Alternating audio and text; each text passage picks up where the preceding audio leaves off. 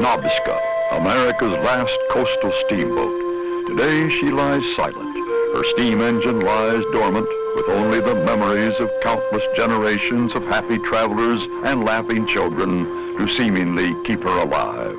Memories of her days of service to Rhode Island, southeastern Massachusetts, Cape Cod, and the islands. From summer's golden glories to her steadfast service through winter's sometimes icebound desolation.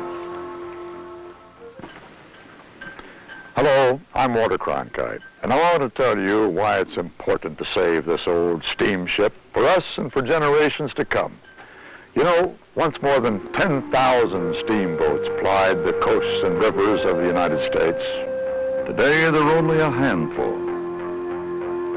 The Delta Queen, the Belle of Louisville on inland rivers, and of those which once traveled coastal America, only the Nobska.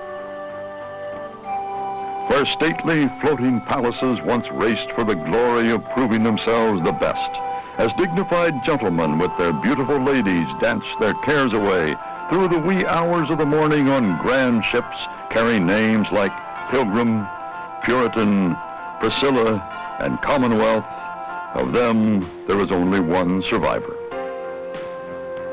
This, then, is Nobska. Today she's tired, suffering from a long Babylonian captivity by those who would make of her something other than what she was and what she's meant to be, a grand lady, the last survivor of the great White Fleet.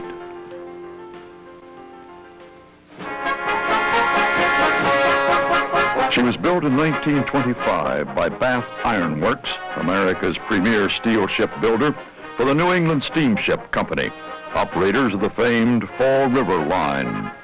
The second of four sister ships, the others being the Martha's Vineyard, New Bedford, and Naushon, she was built for year-round service from New Bedford to serve Woods Hole, Martha's Vineyard, and Nantucket. These ships also were designed to do overnight duty between New York, Providence, and Fall River during slower periods when the larger ships of the Fall River line were not needed. Ultimately, two of her sisters, the Naushon and New Bedford, were to see duty as troop carriers. And as hospital ships were present at the D-Day invasion of Normandy.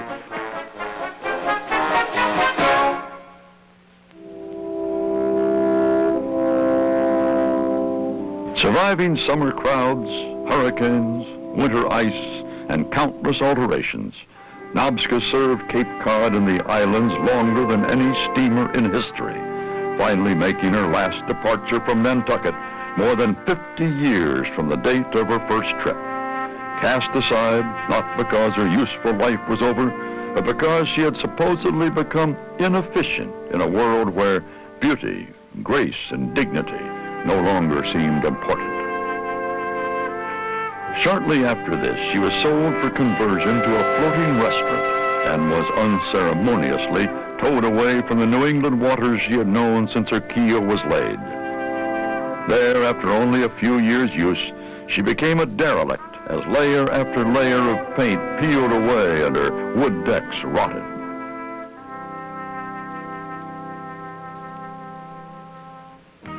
Already the first steps on her road to restoration and operation had begun.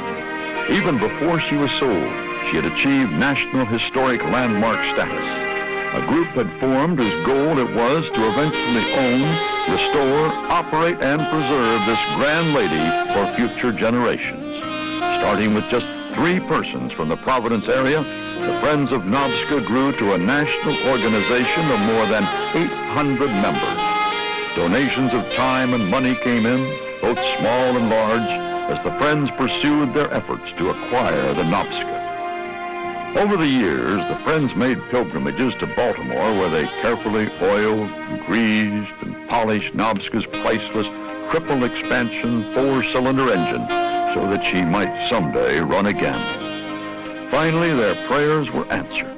In 1988, the then owner of the vessel graciously donated her to Friends of Nobska. In an almost overnight effort, funds were raised to see to her safe return to New England, and so she returned home, initially to Fall River. The first order of business was to make her secure from any further ravages of neglect. Thousands of hours of time were donated by the Friends, the Girl and Boy Scouts, the Steamship Historical Society, and others. Scraping, painting, and patching were done. Next, the task of determining whether or not Nobska could be restored was put to those who knew her best. The question of mechanical feasibility was put to her chief engineers from her last days of operation in the 70s. Calling on the skills of the recently retired chief of marine inspection for the United States Coast Guard, she was surveyed from the standpoint of condition and present-day safety at sea requirements. This was their consensus. If this vessel cannot be certified by the United States Coast Guard, it cannot run. No matter what the sentiment is, no matter what the history is. Captain Bennett retired in May as the head of the Coast Guard Inspection Office in Providence, eminently qualified to do this job. And I would like to conclude today by reading the last paragraph in his survey. In conclusion, it is the surveyor's opinion that restoration of Nobska is possible and feasible. I stress again the importance of working very closely with the office, officer in charge of marine inspection, marine safety office, Providence, and, and meticulously following his requirements and guidance. To do so will result in the vessel being operational in the future at the least amount of expense.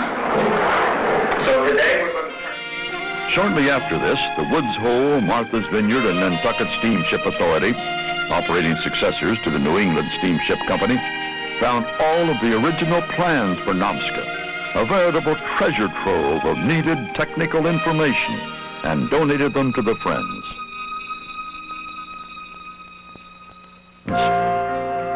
Today, Nobska, on her first step toward restoration, has returned to Rhode Island, where she once came for her winter overalls.